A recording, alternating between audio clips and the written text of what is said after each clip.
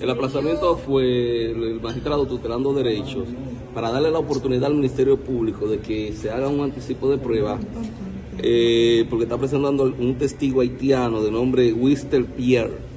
Entonces, es un testigo que estuvo preso con los eh, imputados que, que agredieron a David de los Santos. Entonces, esa persona va a establecer cómo fue que ocurrieron los hechos el día en el cual se le quitó la vida a ese ciudadano. ¿Para cuándo fue? Viernes 13 del mes- presente mes de mayo a las 9 de la mañana se va a conocer tanto el anticipo de prueba Como la solicitud. como la solicitud de imposición de medidas de coerción.